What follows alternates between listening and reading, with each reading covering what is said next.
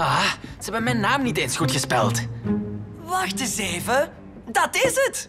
Iedereen weet het. Coffeeshops spellen de namen van hun klanten nooit juist. Dus? Dus dat wordt onze reclamestunt. We spellen je naam goed of kool wordt in de grote theepot ondergedompeld. Cool. Eh, wacht, wat? Zwarte thee voor Jeremiah Bogglestein. Chai voor Flaring McFloyster. Groene thee voor Bob. Bradlebottom. Wauw, dit werkt echt. Darren, je groene thee is klaar. Darren! Ehm, het is Dareth. Gast, echt waar? Oh, juist. Ach, doe het nu maar gewoon, Darren. Dareth!